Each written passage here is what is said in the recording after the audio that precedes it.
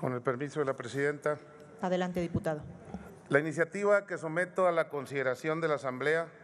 busca ayudar a las personas a que tengan un mejor transporte público de pasajeros, que debería ser una de las alternativas para optimizar los servicios en nuestro país. El servicio público de transporte de pasajeros es una concesión del Estado, es decir, es un derecho del Estado que comparte con el particular para que éste preste o realice un servicio y obtenga un beneficio económico a cambio de pagar al Estado una cuota para disfrutar ese derecho. Ahora bien, existe un crecimiento constante de la demanda de servicios, lo que obliga a la adecuación del marco jurídico, ya que ante la enorme necesidad de transporte se ha propiciado la aparición de un mercado carente de regulación que día con día incide negativamente en la calidad y seguridad del transporte de pasajeros. Por ejemplo, las conocidas corridas de transporte foráneo realizado por camiones que con el pretexto de ser contratadas para un tiempo determinado compiten con el transporte público federal ya establecido. Ante el aumento de la población urbana, es necesario enfocarnos a crear un esquema para atender la necesidad y el derecho a la movilidad que tienen las personas, para generar un equilibrio que está establecido en la Ley General de Movilidad y Seguridad Vial, en condiciones de seguridad, de accesibilidad, de eficiencia, de sostenibilidad, de calidad e inclusión e igualdad. En México, el transporte público de pasajeros ha sido y continúa siendo el medio más utilizado por la población para su desplazamiento de un gran número de personas que cada día buscan acceder a condiciones de vida más digna y generar los ingresos necesarios para el sustento de sus familias. Para ilustrar lo anterior, damos algunos números. Basta mencionar que de acuerdo al INEGI, tan solo en septiembre del 2023,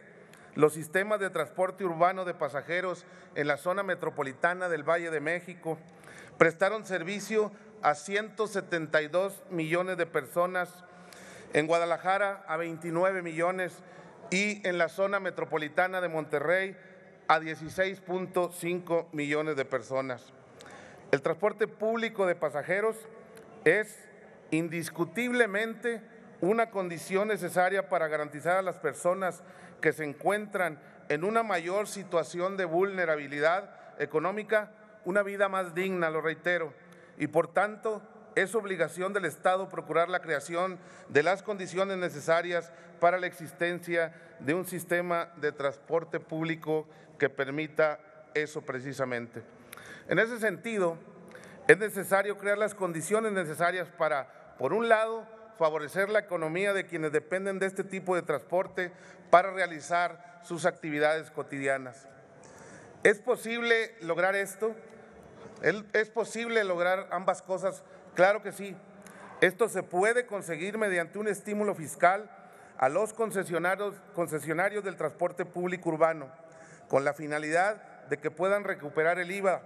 y con ese ahorro inviertan en mejorar sus unidades sin incrementar, que esto es lo más importante, el costo del pasaje para los usuarios. La prestación de servicio del transporte público terrestre de pasajeros no está obligada a la retención o al pago del impuesto al valor agregado, al encontrarse sujeto al régimen de exención del artículo 15. Por eso, no es posible para las empresas concesionarias de dicho servicio público realizar el acreditamiento del mismo impuesto que se traslada a proveedores y acreedores de la empresa. Es por ello que propongo derogar la fracción quinta del artículo 15 de la ley del IVA para incluir la prestación del servicio de transporte público terrestre de personas en los supuestos contenidos en el artículo 2A de la misma ley, a fin de que al aplicarse la tasa cero en ese servicio, las empresas del ramo puedan recuperar el impuesto al valor agregado, que a su vez le pagan a sus proveedores por las inversiones que realizan, mediante el acreditamiento del IVA y se les haga la devolución del saldo a favor que éste genere. Es cuanto, Presidenta.